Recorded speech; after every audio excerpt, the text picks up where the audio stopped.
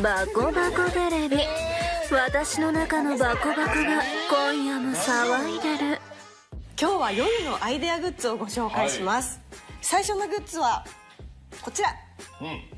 iMAX です。これ。iMAX を装着することで五感のうち視覚と聴覚が同時に奪われてしまいます。え聴覚も奪うんですかそこはい。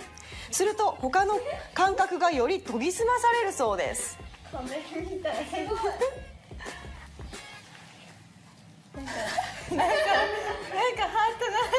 うん。ああ。めちゃくちゃ欲しいこれ。これをあんりちゃんに装着していただきましょう、はい。これ欲しい。おシャアみたい。なシャア うんなんか聞こえるは聞こえるけど、はい。やっぱりあんまり聞こえは良くない。ですもちろん。ケンコバさん。はい本当に感度が増しているかどうかちょっとあん。りちゃんをくすぐってみてください。なるほど、はい。五感のうち2つ閉じることで、はい。他が敏感になると、はい。そういうことか。えー、緊張する待って。上がってますね、でもえどこから来るかもう耳が塞がってるから気配もわかんないじゃないですか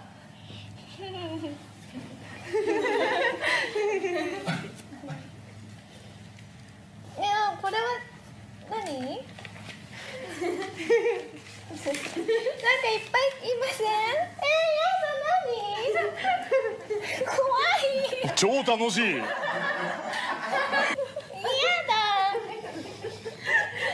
みんなでやってるでしょはいあーうんでも私もこれ欲しい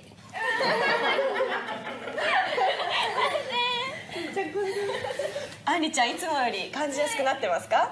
だいぶ。これいいですね。欲しい欲しいですね爆睡できそうこれ。続いてのグッズはこちらです。はい。これは皆さん何に使うものだと思いますか？これは子供が審判子供が審判する時じゃないですか。ちっちゃい子供がストライクでいいんじゃないですかこれつけて。これはですねユニークな名前で生き枕というグッズなんです。生き枕。はいこれを女性の腰の下に引いてうん。引くとですね、ん。ちょめちょめになるんだそうです。ちょめちょめになる これめっちゃ下半身上になっちゃうやつ。下半身めっちゃ上なんねこれ。欲しい欲しい欲しいうんその辺やね。で寝そべって。苦しそうやね。これが何がいいんですかこれあの女性が生きやすくなるそうです。この角度で そうなんですか？そうなんですか？そんな感じする？全然恥ずかしい。恥ずかしい。めっちゃ恥ずかしい。そう恥ずかしいよねこれね。えこれ別にずっと下ろしても下ろしてみてもいいんじゃないの？体。下ろした下ろしたらなんか、ん。滑って落ちる。へえそうなんですか、生き枕。はい。へえ後半もユニークなグッズを紹介しますのでお 楽しみに。こちらのグッズはみおちゃんに試してもらいましょう。うん。着るだけキッコーと言います。着るだけ亀甲ああなるほどね。着たらもう亀甲縛りが完成していると、はい。ひどい。なるほどね。これをこのまま普通に着るわけですね。うんうんうんうんあ白もあると、あとは T シャツの縫い目を破ってこう T シャツを抜き取っていきます。はい。ではケンコバさん。はい。お手伝いお願いします。縫い目を破って。なんかこの辺が切れてるああなるほど。ここから破いていくと、い、いですか？はい。なるほどこういうね。いけないことしてる気分だよねうんこの破くのは楽しいね。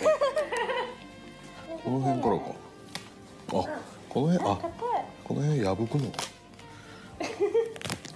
え難しい。これで？だんだん姿が素肌が見えていくんや。ああこれで抜き取っていく。あ、うーん。あここにもひっついてんだ。これそ水着も外していいですか？これ。あそれはダメですか？厳しいな世の中ういうことですか？なんと涼しそう。これは海に来ていったら人気者になること間違いなしですよね。何言ってんすか？あこういうことね。はい。ああなるほどな。るほど亀甲縛りはこれは相当なあのプロの技術ですから。これを使えば若いカップルも楽しめると。みおちゃんいかがですか？これ恥ずかしいですよね。あそうよこれは。もう恥ずかしめるためだけにやるやつやからねこれはなんか私も試してみたくなりました。あなんか今急に俺冷めました。終わりましょうか。